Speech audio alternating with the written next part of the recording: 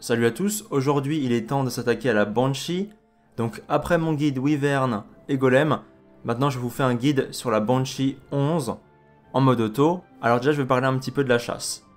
Alors comme on peut voir ici, la Banshee, c'est un boss qui drop un set résistance, destruction, vol de vie, contre. Alors résistance, c'est la résistance d'effet, destruction, c'est les dégâts critiques, vol de vie, ça parle pour lui-même, et le contre en fait, oui c'est c'est la mécanique de si le personnage avec le set contre se fait taper, il a un pourcentage de chance de riposter.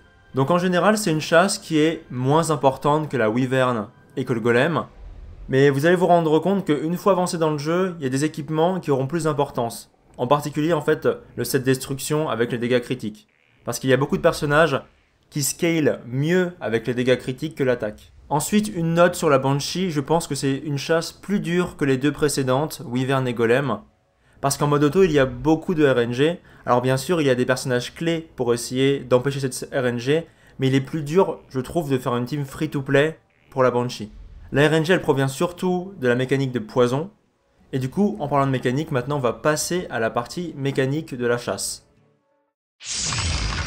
Alors comme d'habitude, la chasse va se diviser en deux stages. Le premier stage contre des petits mobs, puis après contre le boss. Ensuite, vous allez vous confronter à la Banshee, la Seigneur Banshee Lumière des Étoiles, donc ça c'est la Banshee 11. Elle aura deux phases. La première phase, c'est que la Banshee. Elle est toute seule. Elle a 60 000 points de vie et plus de 1200 défense. C'est le boss de chasse qui a le plus de défense parmi les 4 boss de chasse. Et donc ne vous étonnez pas si vos personnages ne font pas énormément de dégâts sur elle.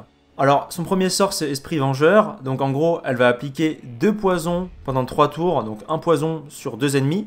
Et le truc, c'est qu'en fait, si la Banshee rejoue et que un des persos a un poison sur lui, la Banshee va lancer Malédiction qui va faire des dégâts énormes à toute votre team et potentiellement les one-shot. Donc, il faut absolument dispel, supprimer les debuffs, les poisons que la Banshee inflige.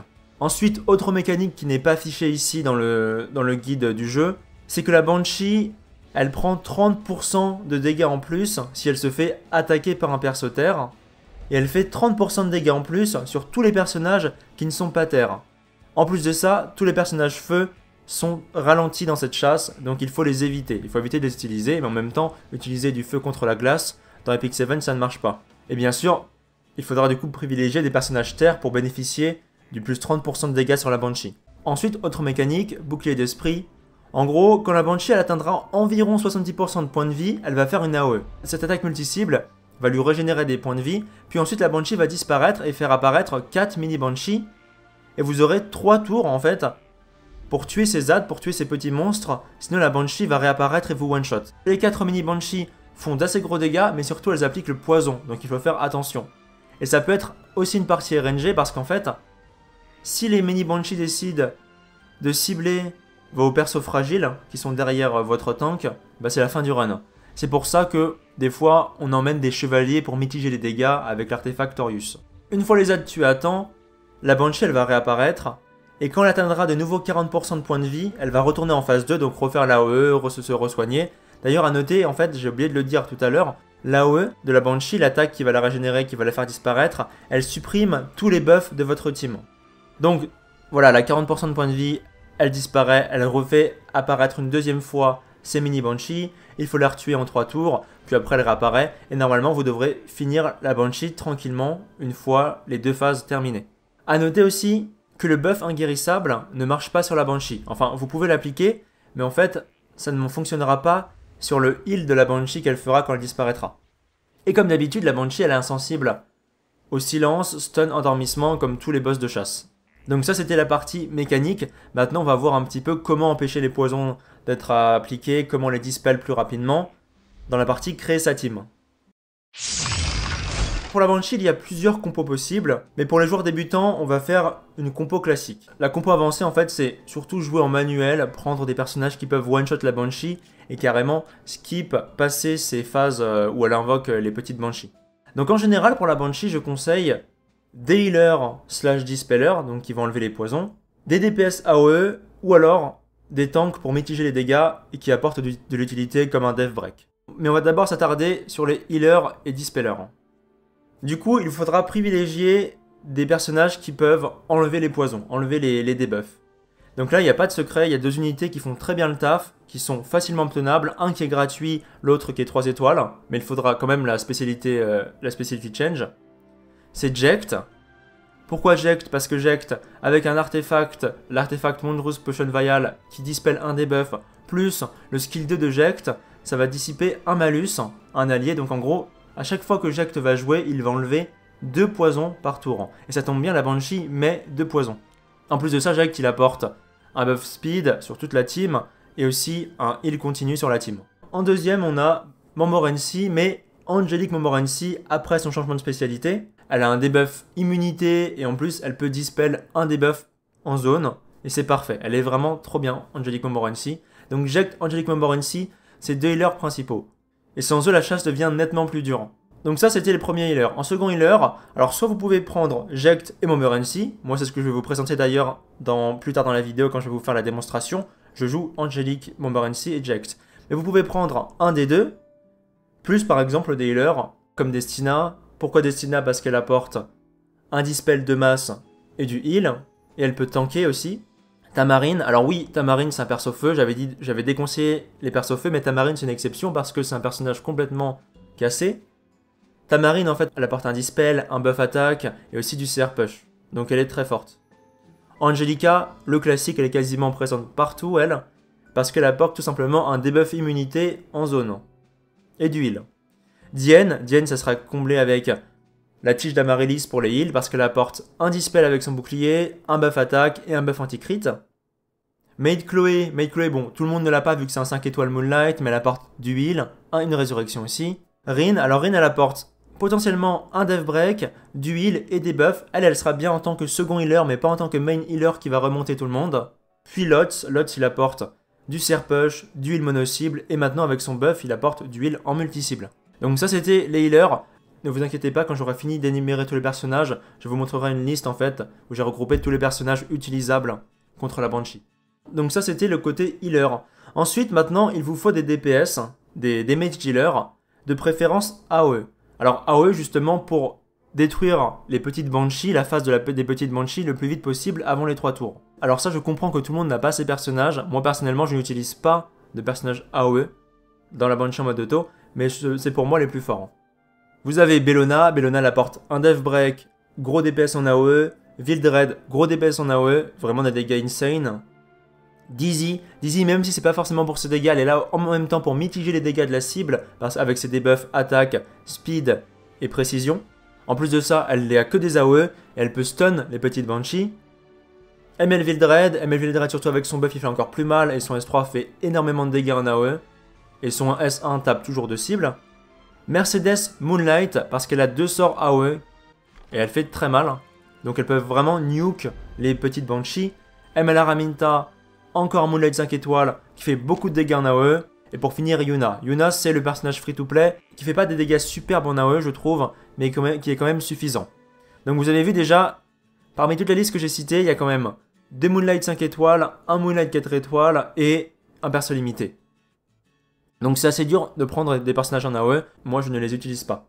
Mais c'est pas grave parce qu'en fait, vous pouvez aussi opter pour des DPS semi-AOE. Donc ce sont des personnages qui auront des dégâts mono-cibles, mais aussi quelques sorts, surtout par exemple des ultis, des S3, qui pourront faire des dégâts en zone. Pour ça, vous avez Charles, d'ailleurs c'est celui que j'utilise. Charles, vous pouvez le build en attaquant, même si c'est un chevalier. Il a une AOE avec son S3, un buff attaque et beaucoup de dégâts en, en mono-cible. Silk, de l'AOE du mono-cible. ML Karine, pareillement. Le Lucas, en plus de faire des AOE, elle apporte un break def et de la survie à votre team avec son S2 qui donne un buff défense. 16. Axe God, donc Axe God c'est H du chaos en, français. Lui il apporte donc de l'AOE, un def break, mais en plus, avec, si avec son S2 il tue une cible, il peut rejouer. Clarissa, Clarissa c'est pareil, si elle tue une cible, elle peut rejouer, ou en tout cas elle peut refaire une attaque en AOE. Et Ken, alors Amelken, voilà, c'est le personnage, euh, si vous l'avez, euh, vous pourrez rouler sur la Banshee, je pense. Et bon, il est très rare. Hein. Donc ça, c'était les, DPS que j'appelle semi-AOE, semi-multi-cible. Ensuite, vous pouvez prendre des personnages uniquement mono-cible. Alors pour ça, on a celle qui détruit la Banshee, c'est Bacon. Gros dégâts, elle peut rejouer d'ailleurs, elle est utilisée dans les strats manuels pour one-shot la Banshee, et la Banshee n'a même pas le temps de passer en phase 2. Iseria, Dev Break, dégâts. Sid, dégâts et Dev Break aussi. Luna, pareil. Challenger de Miniel, énormément de dégâts, donne un buff critique et du serpush à votre team. Yufine, beaucoup de dégâts aussi, avec une petite AOE qui pourrait éventuellement servir, mais je ne l'ai pas compté dans semi-multi, dans les personnages semi-multi. Mais bon, ça peut toujours être utile.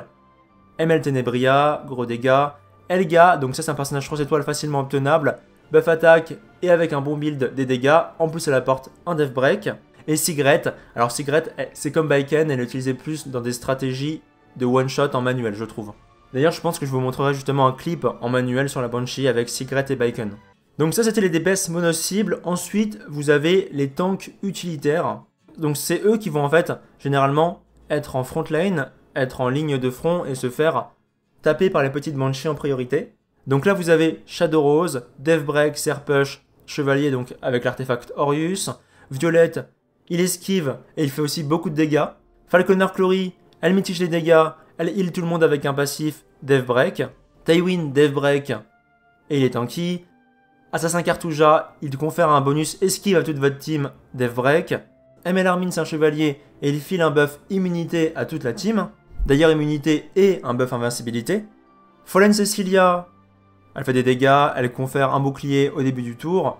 Et Rose, qui est aussi un chevalier, qui va utiliser, comment dire, qui va donner un buff attaque. Et qui est aussi tanky du coup avec l'artefact Torius. En tout cas qui va mitiger les dégâts de votre team. Donc ça c'était les personnages que je conseille. Il y en a d'autres utilisables, je sais, on me les dit dans les commentaires à chaque fois, oui, mais peut-être on peut utiliser ce personnage-là. Oui, par exemple, en mono-cible, j'aurais pu rajouter Commandant Lorena, mais j'avoue que j'avais pas trop de place dans ma liste. Mais oui, vous pouvez utiliser par exemple Commandant Lorena en mono-cible aussi, vu qu'en plus elle est free-to-play. Du coup, là, je vous mets une liste, en fait, une sorte de petite charte que j'ai fait tout à l'heure. Donc, les soigneurs, Angélique Montmorency, Ject, Diane, Angelica, Tamarine, Maid Chloé, Destina, Rin, Lotz. Les DPS AOE, Bellona, Vildred, Dizzy, ML Vildred, ML Mercedes, ML Araminta, Yuna. Semi-multi, Charles, Silk, ML Karine, Luluka, 16, Axgod, Clarissa, ML Ken, Monocible, Baiken, Iseria, Sid, Luna, Challenger de Miniel, Yufine, Spectre Tenebria, Elga, Sigret, et du coup on rajoute Commandant Lorina qui n'est pas dans la liste. Les tanks utilitaires Shadow Rose, Violette, Cloury après son spécialité Change, Tywin, Assassin Cartouja, ML Armin, Fallen Cecilia et Rose. Donc ça c'est la liste. L'idéal du coup c'est de piocher dans les deux soigneurs, deux DPS AOE, mais c'est pas forcément obligatoire. En tout cas il vous faut deux soigneurs avec au moins dans ces soigneurs là, Ject ou Momorency. Admettons vous prenez Ject et Momorency. Si vous manquez de tankiness de résistance, prenez un chevalier comme Shadow Rose par exemple, ou Tywin. Si vous manquez de DPS en AOE de cleave, prenez un multi. Si vous manquez de DPS en mono-cible, prenez Bacon, Iseria, Seed, Luna, etc. C'est un peu vous qui vous voyez et construisez votre team. Après, l'exemple d'une team que je considérais free-to-play, ou en tout cas abordable pour les free-to-play, ça serait Ject, Angelic Momorency, le classique, les dispels et les heals, ça. Ensuite, Silk, qui est gratuite, qui fait de l'AOE avec son ulti et beaucoup de dégâts en mono-cible. Plus un bon DPS de votre choix. Ça peut être Elga, c'est encore mieux si c'est un DPS multi-cible comme Bellona ou Vildred. C'est un peu à vous de voir.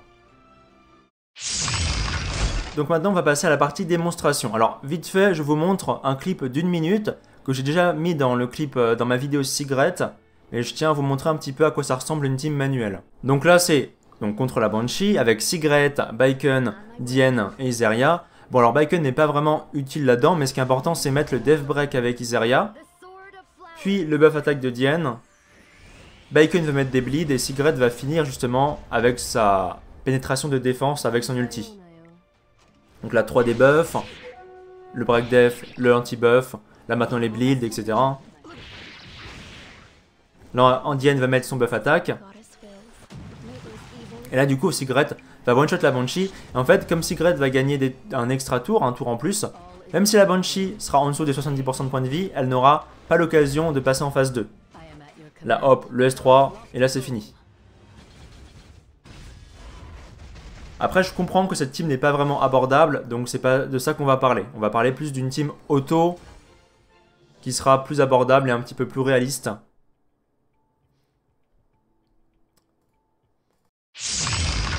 Donc ma team auto que j'ai faite justement pour cette vidéo, c'est Violette, Ject, Angélique Montmorency et Charles. On va voir directement leur équipement.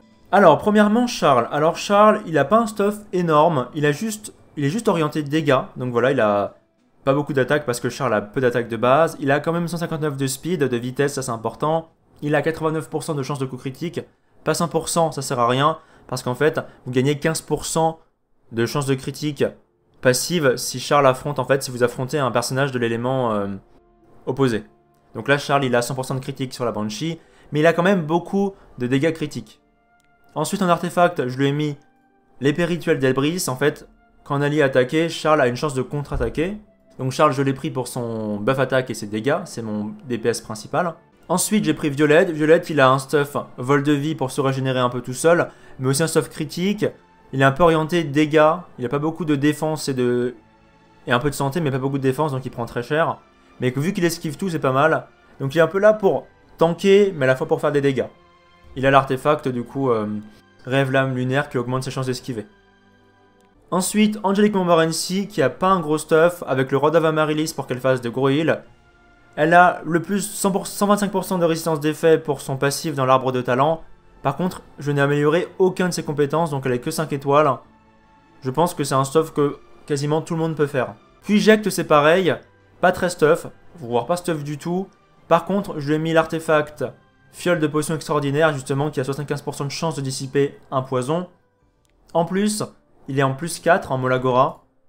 Uniquement pour son skill 2, voire arrière, qui a 100% de chance de dissiper un malus au début de chaque tour. Donc là, j'ai il a 100% de chance de dissiper un poison, plus 75% de chance de dissiper un autre poison avec l'artefact.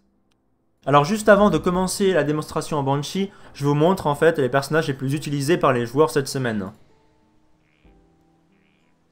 Donc vous pouvez voir là le classement du taux de réussite des héros. Bacon, Bellona, Vildred, Diane, Angelica, Tamarine, Angelique Momorency, Dizzy, Jagged, Iseria. Donc ça c'est le top 10. Puis après ça continue. Vous pouvez aussi vous référencer à ce, classement pour vous faire une idée d'une team. Et si par exemple vous vous questionnez sur est-ce que ce personnage est utilisable, regardez là-dedans, dans ce classement, et si votre personnage n'est pas utilisé du tout dans les 300, les 100 personnages, premiers personnages, je pense que du coup c'est pas une bonne idée. Du coup on passe à la partie démonstration en mode d'auto cette fois. Alors je vais vous passer le stage contre les petites Banshee et on se retrouve directement contre le boss. Ok du coup on est contre la Banshee, donc là phase 1, j'ai enlevé l'épée spirituelle d'Elbris sur Charles et je l'ai remplacé par euh, Lorius pour mitiger les dégâts des mini Banshee. Donc sachez que je n'ai pas 100% de réussite avec cette team parce que la Banshee est trop RNG malheureusement. Je trouve vraiment que c'est un, boss qui est pas très bien foutu contrairement aux deux précédents. Parce que c'est un boss en fait, même si on établit une stratégie, tout peut être détruit par juste un petit euh, coup de RNG. Donc la Banshee passe en phase 2, donc elle s'est régénérée et elle va invoquer ses 4 mini Banshee. Là, ça va être la partie RNG parce qu'en fait, les mini Banshee, si elle focus mon Ject si euh, ou ma Momorency, bah c'est quasiment fini. Et surtout, le pire dans tout ça, moi je trouve, c'est que les mini Banshee, elle peut impliquer le poison. Mais si elles appliquent un poison et que mon DPS les tue avant que mes soigneurs n'aient le temps d'enlever les poisons, bah la Banshee va réapparaître, elle aura l'initiative et va one-shot ma team. Et ça, c'est RNG. Moi, je trouve que dans la chasse, pour que la chasse soit, comment dire, un peu plus euh, juste, que quand les mini Banshee soient tués, tous les poisons sur notre team disparaissent. Mais c'est pas le cas, donc c'est pas grave, on fait avec, c'est comme ça, c'est le mécanique. Donc là, ça devrait le faire. Là, je devrais passer la phase sans que la mini Banshee applique un poison, et du coup, je ne ferai pas, je me ferai pas one shot. Donc là, hop, on retourne en phase 1 contre la Banshee, toute seule. Là, ça devrait aller, c'est la phase facile, je trouve, parce que avec Momoran Eject, vous êtes garanti de n'avoir aucun debuff. Hop, en plus, ça met le debuff euh, précision. Donc là, quand la Banshee atteindra 40% de points de vie, elle repassera en phase 2. Elle réinvoquera du coup ses petites Banshee. Aucun poison de placé en plus là. En plus de réduction d'attaque de violette. Donc on est bientôt de nouveau en phase 2.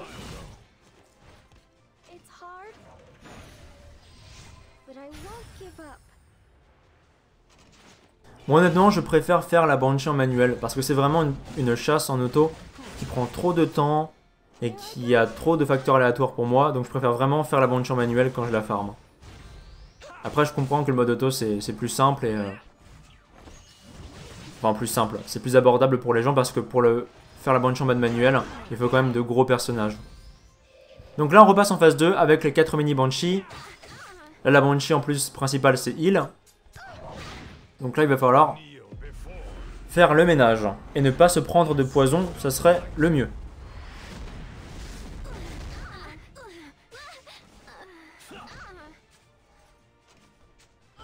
Ok, donc ça tape violette, ça c'est bien. Momoranti c'est pas c'est nul ça.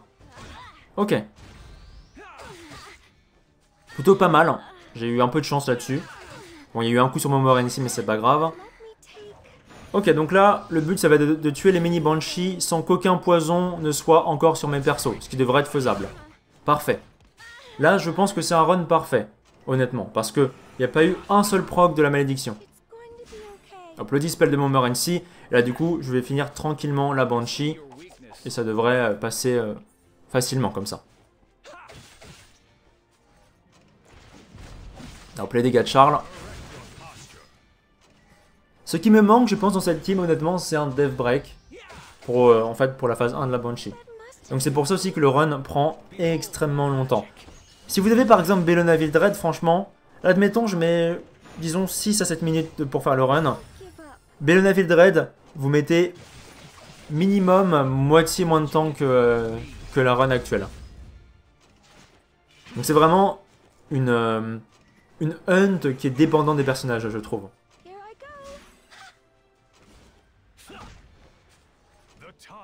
Hop, l'ulti de Charles. Charles d'ailleurs, sa mécanique, c'est que moins il y a d'ennemis, plus il fait mal avec son ulti. Hop, le debuff attaque. Là, elle va faire aucun dégât. Et en plus, elle va peut-être miss ses attaques. Ah non, elle a miss aucune de ses attaques. Dommage. Ah non, c'est réduction de coups critiques, pardon. C'est pas augmente les chances de, de miss. C'est plus réduction des coups critiques. Ok. Donc là, ça devrait être du coup la phase finale, enfin la dernière ligne droite pour terminer la chasse. On ira un peu après avoir les, on ira voir les statistiques après, genre qui a fait le plus de dégâts, qui a le plus tanké, qui a le plus soigné. Et là du coup, c'est fini avec le de violette, parfait.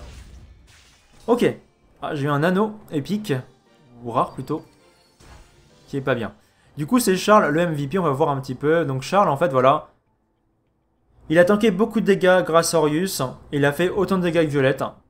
Et là, du coup, pour ce qui est du heal, c'est Momorancy qui a fait beaucoup de heal. Après, Ject, on peut pas vraiment le voir briller parce qu'il est plus là pour Dispel. Et le Dispel n'est pas compté, en fait, euh, dans les infos, dans les infos de combat. Ok, donc ça, c'était la team Banshee. Du coup, je vous remets ici la liste. Alors, cette liste-là sera disponible dans la description. Et il sera aussi disponible dans mon Discord euh, épinglé, parce que je pense que ça va intéresser certaines personnes. Donc là, vous voyez une liste de personnages, vous piochez deux healers, dont un au moins qui peut dispel. Deux DPS, le mieux c'est d'avoir des AOE, mais c'est pas grave si vous prenez des mono-cibles. Si vous manquez de résistance, prenez un chevalier avec Orius. Je rappelle une team plus ou moins free-to-play, Angelic Momorency, Ject, Silk et de préférence peut-être Clory, je ne sais pas, ou un DPS euh, AOE comme euh, Bellona. C'est une chasse qui est dure, donc je vous souhaite bonne chance si vous commencez à, la farmer. J'espère que le guide vous aura apporté des réponses à comment créer votre team, à comprendre comment la Banshee marche. N'hésitez pas à vous abonner pour plus de contenu sur Epic 7, à poser vos questions dans les commentaires, j'y répondrai, et à rejoindre le serveur Discord, surtout qu'il y a quand même pas mal de guides épinglés euh, sur les chans euh. La dernière chasse qui me reste, c'est Azimanak. C'est aussi une chasse qui est particulièrement compliquée. Mais on verra ça du coup pour une prochaine vidéo. Sur ce, à la prochaine.